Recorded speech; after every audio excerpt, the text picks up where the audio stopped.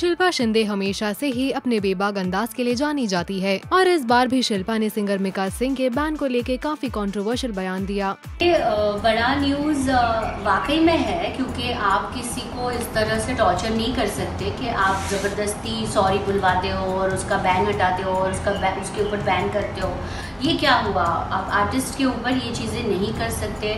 मैं सारे आर्टिस्ट की तरफ़ से उनकी आवाज़ बन के बोल रही हूँ कि ये आर्टिस्ट के साथ नहीं होना चाहिए। मैं इन चीज़ों से गई हूँ। मैंने इनको बोला हुआ है कि आप मुझे राइटिंग में दे दो कि आप मुझे बैन कर लो because this is not law television actor Nalini Negi पर हुआ हमला और हमसे खास बातचीत में नलिनी ने किया खुलासा। ये सब तमाशा मत कीजिए, आप आराम से रहिए। मैं उसकी बेटी से बात कर ही रही हूँ। इतने में उसकी मॉम ने मुझे ग्लास से हिट कर दिया मेरे फेस पे। और मुझे समझ ही नहीं आया कि ये हुआ क्या मेरे साथ। लाइक शी हिट और मैं आई थिंक कुछ मिनट के लिए मैं ब्लैकआउट हो गई इन दिनों जहाँ सर्बियन ब्यूटी नताशा स्टैनकोविक अपने एक्स बलिय एलिगोनी के साथ नच के मंच पर धमाल मचा रही है, वहीं अब उनकी ज़िंदगी में शिरकत हुई एक ऐसे शख्स की, जो सामने वाली टीम के छक्के छुड़ाने में माहिर है, और वो कोई और नहीं, इंडियन क्रिकेट टीम के ऑलराउंडर हार्दिक पांड्या है। दोनों आजकल डेट कर रहे हैं।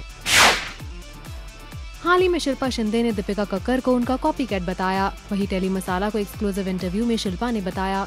जीते वो क्योंकि वो उसने मुझे ही कॉपी किया है और जीती है। या जो भी है मुझे फॉलो किया है। चलो कॉपी वर्ड निकाल दो मुझे फॉलो किया है। आ, उनको लगा कुछ आर्टिस्टों को लगा मैं खाना बना के जीती हूँ। या जो भी जिसकी अपनी अपनी सोच है तो उसने वही किया। तो एक्चुअली मुझे प्राउड फील होना चाहिए उसके लिए। मधुरिमा और विशाल के आपसी संबंध कुछ अच्छे नहीं हैं, ये हम सब जानते हैं। वही मधुरिमा ने हमसे खास बातचीत में बताई अपनी दिल की बात। बहुत ही अच्छा लग रहा है एक्चुअली ने सोचा नहीं था आई नेवर एक्सपेक्टेड कि इतना प्यार मिलेगा इतना सपोर्ट मिलेगा और इतनी अच्छी परफॉर्मेंस हो जाएगी। बट uh, हो रही है and that's the best part and अभी तक थोड़ा लग रहा था कि क्यों लड़ाइयाँ हो रही हैं क्यों हो रहा है बट नाउ आई थिंक जो भी होता है अच्छे के लिए होता है।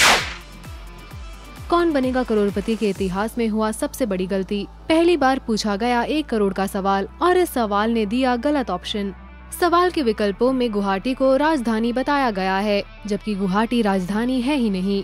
वर्तमान में आसाम की राजधानी डिस्पुर है। इस सवाल का सही जवाब इम्फाल है, लेकिन ये बड़ी गलती पकड़ में आ गई। इस हफ़्ते नजबिल नाइन से एलिमिनेट होने वाली जोड़ी है मधुरिमा और विशाल। जी हाँ पिछले हफ़्ते एलिमिनेट हुई उर्वशी बरस पड़ी शो के मेकर्स पर, कि उनका एलिमिनेट होना गलत था। और अब मधुरिमा और विशाल जो शो की टीआरपी का अहम हिस्सा थे, वो भी आउट हो गए।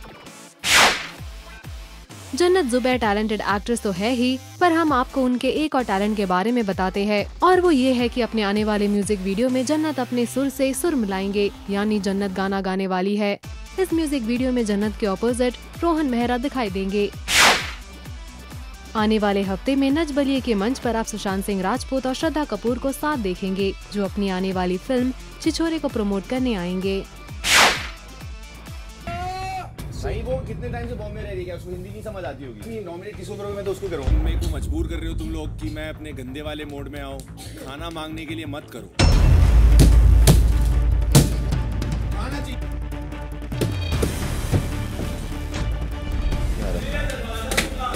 अभी यहाँ पे इंसान भी तोड़ूँगा मैं देखना।